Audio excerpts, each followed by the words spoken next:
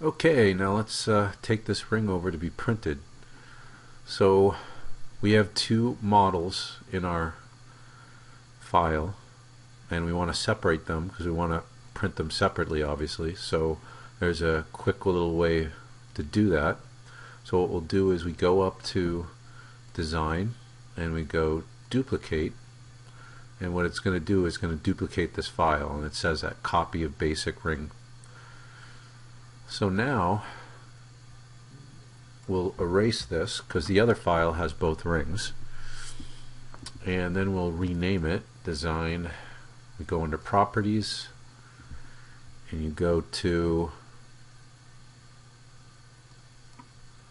the name and we'll put in basic ring heart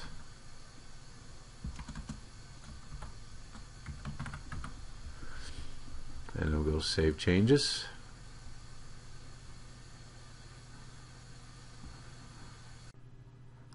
Now let's uh, take our ring over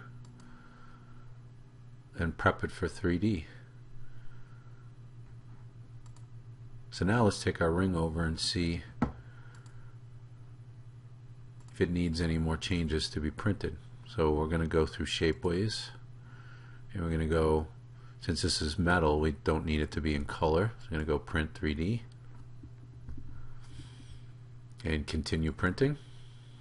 And if you already have your account, Shapeways account set up, then it should pick that right up.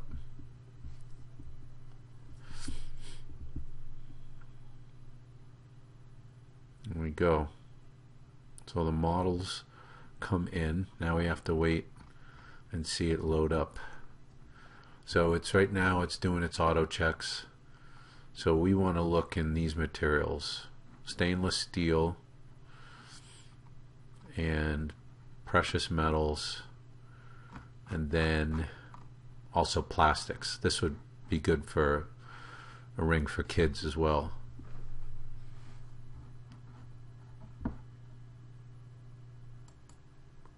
Okay, so the checks have come through. And passed in all the plastics and you can see in the plastic material it's nice and cheap. This isn't a ridiculous cost. So those of you don't have a lot of money you want to have a plastic ring it's a good start. Well let's see how it comes in in the stainless steel. See these are all really good prices too. Passed all of these so you can do stainless steel, matte gold steel, polished bronze, polished nickel, and polished gray steel. So that's pretty good. Now let's see.